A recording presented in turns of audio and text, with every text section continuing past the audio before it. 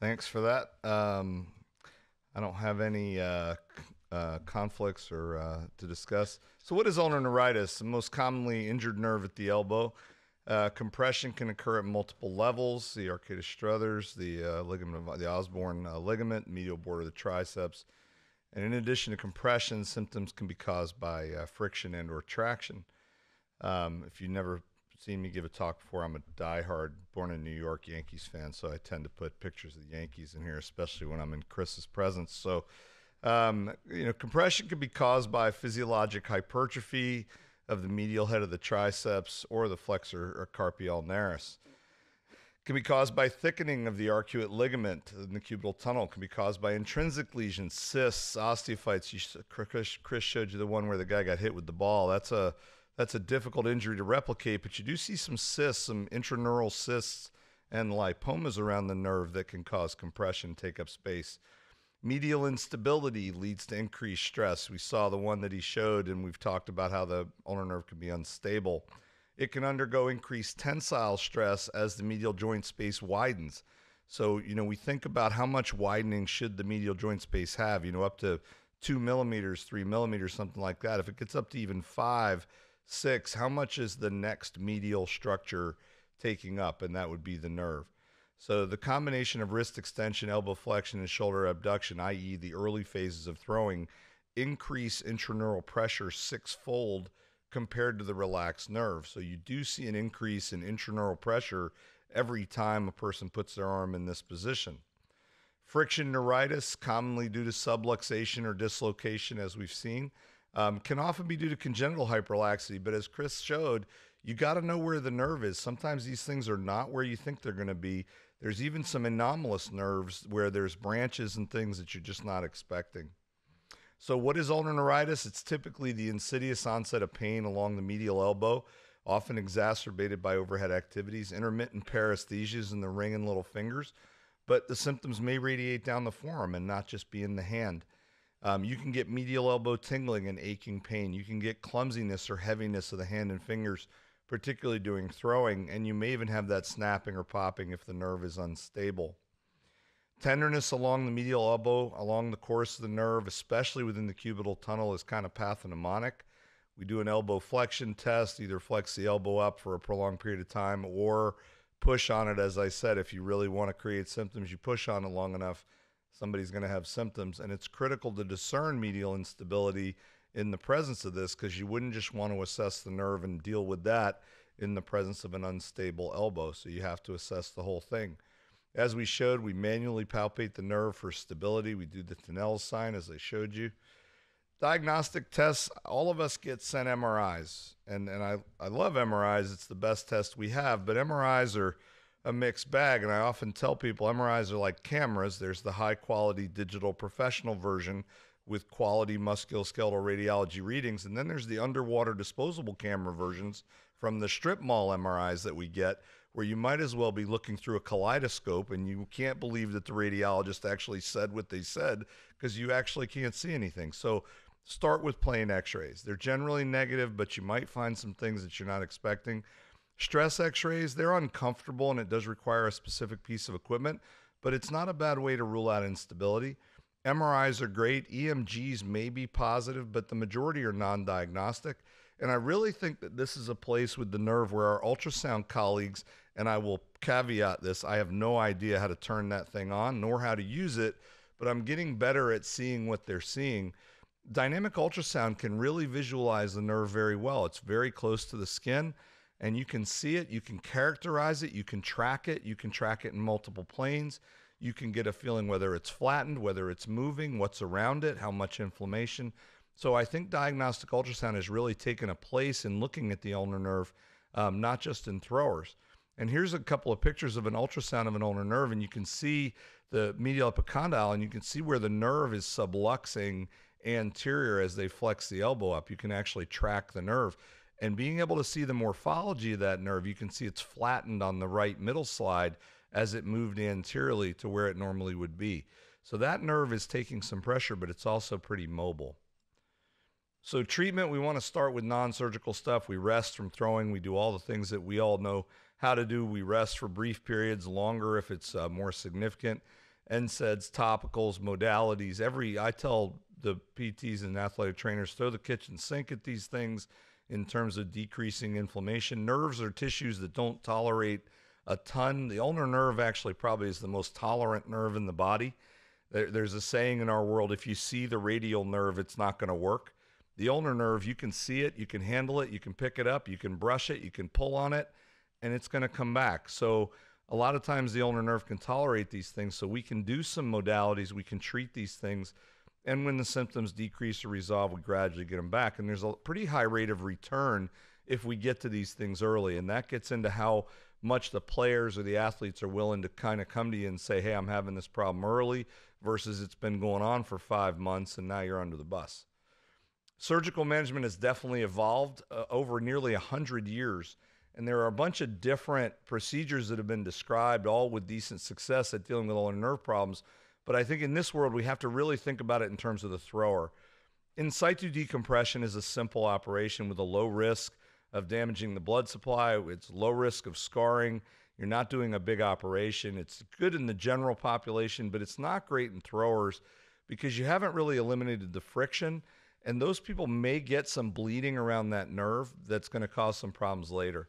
And you've left the nerve right by the ligament. So if there is a little bit of laxity, whether they have an ulnar collateral ligament injury or not, you really haven't solved that problem. So I think it's not a great operation in throwers. Um, and I, I, can come back and talk about that with the UCL repair because for a while I was doing in situ decompression of the nerve, and I found that I was generating a fair amount of scarring around the nerve because I was leaving it there. Medial epicondylectomy. I don't think probably anybody in the room has ever done this, so I'm going to gloss over this. Although it probably has some role in the history books, it's really not uh, something that we would do these days. Subcutaneous transposition. This is a procedure with very little scar formation you're really taking the nerve and you're putting it in the subcutaneous tissue. So you're kind of creating a fat, um, almost envelope or sleeping bag for the nerve in the subcutaneous tissues. Um, there is a lot of potential for hypermobility here. It goes with the skin.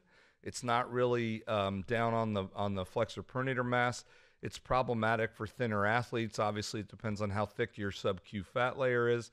Again, not really recommended for throwing athletes. The sub-Q fat as the housing may not be the best uh, best way to keep the nerve where you want it. Intramuscular transposition, uh, a lot of scarring around the nerve can tether it, can also create compression from the muscle function, traction neuritis. Again, not recommended for throwing athletes, but interestingly, this is what Dr. Jobe did in Tommy John's original operation, and he had a postoperative nerve palsy that required a second operation. He eventually got back. He actually had a claw hand for a while, and he got back, and we all know that he won more games after than he did before. Submuscular transposition, again, not for overhead athletes. There is a lot more interest in, by our hand colleagues. The Hand Society people are really moving in the direction of submuscular, intramuscular transposition. It creates a little more of a direct route, less kinking, and it's protected by the muscle. I don't know how good I feel about this. I, have had a couple of hand surgeons, pretty prominent hand surgeons, say they like this for throwers. I'm, I'm not uh, I'm not at that point yet. and then subfascial transposition is really the one that most of us do, whether we're using a sling of the ulnar of the uh, intermuscular septum or a leash of the fascia from the flexor pronator mass. Um, either one of those works. It does create a direct route. There's no real trauma to the muscle, and this is our preferred technique when we're doing these for um, for throwing athletes, with or without uh, UCL surgery. So, relative immobilization, I don't like to immobilize the elbow for very long. A sling or a splint at 70 to 90 degrees for a few days. Start some wrist and hand exercises. We want those muscles moving. Then we start some passive and active assisted stuff, strengthening later on, and then throwing usually by 8 to 12 weeks. And usually these people are back at three to four months competing, depending on what level they're competing at. Ulnar neuritis in kids, it's most common in 11 to 14 year old pitchers.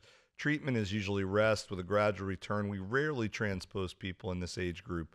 Uh, usually, you can get these people to settle down. That's a long time ago, that picture. Um, Post UCL ulnar nerve issues. Is the numbness and tingling following an ulnar nerve transposition a complication? If it resolves spontaneously in hours, days, or weeks, is that a complication? If not, we may need to reconsider our literature. If it's prolonged for greater than six weeks of symptoms, that's less common, and that certainly relates to perineural swelling and scarring, and that truly could be a complication and likely is. But if somebody has some ulnar nerve symptoms for a day or a couple hours, I'm not sure that qualifies as as a complication. So when the symptoms persist, is the cubital tunnel, is the nerve in the cubital tunnel where it was? Is the pain there? Is it anterior where the nerve is? So we got to ask ourselves, people that come back with post-op symptoms after a uh, ulnar nerve transposition, where is the pain? Is it where the nerve was? Is it where the nerve is? Is it posterior? Did we close the cubital tunnel too tightly? Did we leash up that tissue too much to close down the tunnel and prevent the nerve from getting back there? Is it anterior where there's perineural swelling and scarring? And again, dynamic ultrasound may be our best test. So our guys have been doing ultrasound guided hydrodissections around the nerve when we've seen this.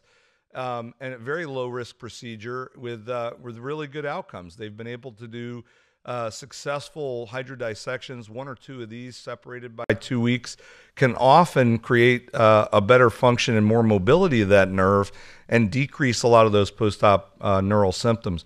Open neurolysis is the last resort, and we do sometimes have to do these things. And in my opinion, I think that speaks to our need to be meticulously obsessive about hemostasis anytime we're doing any procedures around nerves. I, I think that makes a huge difference. A recent conversation I had with a major league athletic trainer who said, uh, Doc, why have people gone away from transposing the nerve? We have two guys having ulnar nerve transposition after reconstruction who didn't have a ulnar nerve transposition at the time of the surgery to me, I think it's one of those things that goes either way. I think it's a six and one half dozen another thing. If you don't transpose the nerve, you may get symptoms around the nerve and then you got to go transpose it. And if you do transpose the nerve, you may get symptoms around the nerve and you may have to treat that. But, and honestly, in 23 years, I've never seen a UCL reconstructed patient or repaired patient ultimately not get back because the nerve was the primary problem. That doesn't mean they don't have issues with it. it doesn't mean you may not have to have a second procedure on it but I've never seen somebody ultimately not get back because of the nerve. So I think the nerve gets a bad rap both ways, whether you move it or you don't move it. And, and so I think that we just have to be prepared to deal with those things each way. So, in summary, it's a relatively common problem. Generally, managing non surgically with rest is the way to go. The unstable nerve, the recalcitrant traces, uh, cases can be treated with transposition, and uh, usually they're back in three to four months. The vast majority of reconstructed ulnar nerve issues are treatable non surgically. And, and I think we really need to consider, consider what constitutes a complication in that regard. Our ultrasound colleagues are possibly our best new heroes in this area. Biologics, nerve wraps, things like that. I think, as always, we have a lot to learn, and maybe there's some role for those things in the future. So, thank you.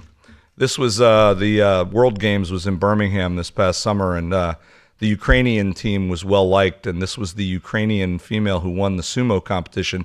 This was actually the championship match. Um, I probably don't have to tell you who won. It literally it, it was less than three seconds, and she pushed that lady out of the ring. So thank you.